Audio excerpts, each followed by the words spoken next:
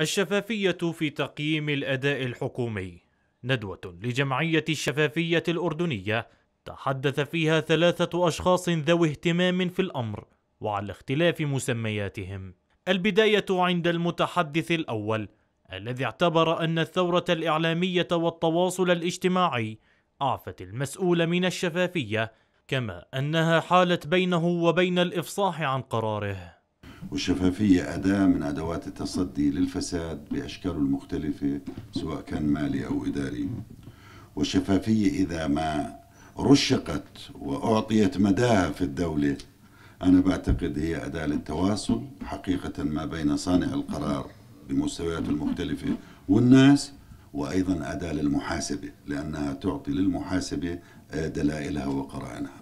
أما المتحدث الثاني الذي استند على بيانات ونسب استطلاع للرأي حيث أشار إلى أن ثلثي الأردنيين يرون أن الأردن يسير في الاتجاه الخاطئ. اليوم في عندنا نحو ثلثين الأردنيين يرون بأن الأردن يسير بالاتجاه الخاطئ.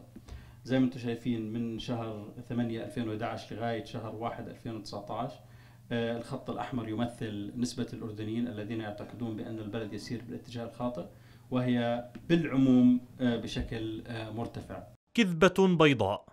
هكذا وصف المتحدث الثالث في الجلسة الشفافية لدى الحكومة. اسمحوا لي أن أعبر عن قناعتي أمامكم بأن الشفافية أقرب إلى بيغوسين كذبة بيضاء. لكنها جميلة ورشيقة ومفيدة وهي كذبة تساهم في تساهم في حفل التخدير العام.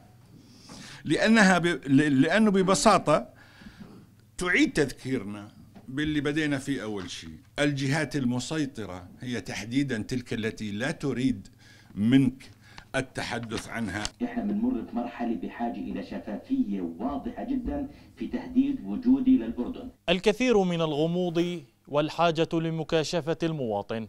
قول فصل قيل هنا في أداء تقييم الحكومة الآنية في شأن الشفافية والمصارحة.